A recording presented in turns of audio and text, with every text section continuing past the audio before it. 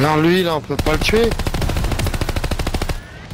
Hostile in the air.